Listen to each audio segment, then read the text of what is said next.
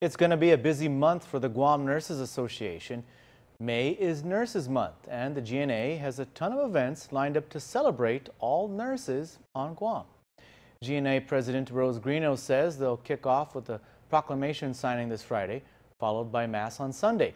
They'll also have their annual nursing conference, a community event, Fitness Day, and they will cap off the celebration with a banquet and awards night at the end of the month.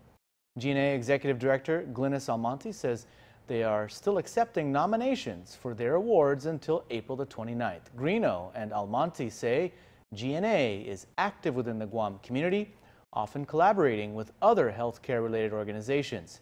They also provide continuing education for registered nurses and allied health professionals.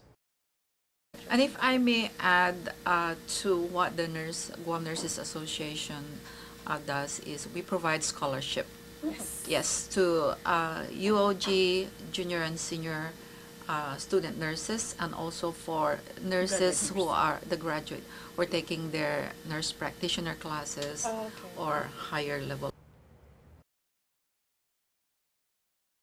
The community is invited to attend their Health and Fitness Day on Saturday, May the 14th at the Ypao Beach Park Amphitheater, where there will be fitness activities and presentations like yoga, tai chi, mixed fit, and Zumba. The donation fee is $10. It really is, you know, nurses as are, we are there. Um, you know, we play a very uh, integral role as part of the healthcare team. We're always there, you know, at your bedside or at home for uh, giving home health care and even at school. So um, I do encourage everyone, you know, um, if you know a nurse, your family members is a nurse, please, you know, um, give them some appreciation because, you know, as nurses, we're human too.